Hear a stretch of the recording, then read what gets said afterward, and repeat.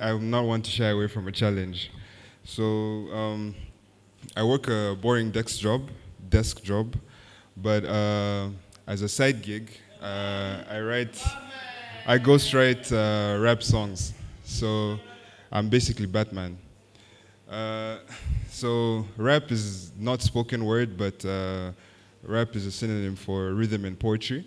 So since this uh, took me by surprise, uh, I'll just perform to you uh, just something small. It's only 16 bars, usually with a beat, but I'll try and uh, co-opt it for the spoken word stage. I can't help it when I'm picking up the pen and start to scribble. I rhyme with all my lines. It's like I'm Curry off the dribble. It don't matter what the lineup is. I'm draining all the triples and I'm chasing all the finer things. I don't want just a little. I got visions of myself beyond a bag. I'm on a mission. Uh, I wake up with the fuel. I'm only driven by ambition. They ask me where I'm going, man. I trust my intuition because it's leading me to greatness. Bring my gifts into fruition.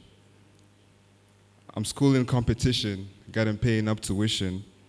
You know the beat don't matter. Got that spark. I'm a magician. I always keep it pushing, never lagging, all ignition. They pay me for a verse, but end up adding a commission. See, I weave these lines together like a web, and I'm the spider. These rappers is my sons, and they all know I'm the provider. Because every time I drop, they get excited, eyes get wider. I'm rolling up these lines inside the beat, my flow the lighter. Uh, that's basically it. Very short. And uh, yeah, thank you.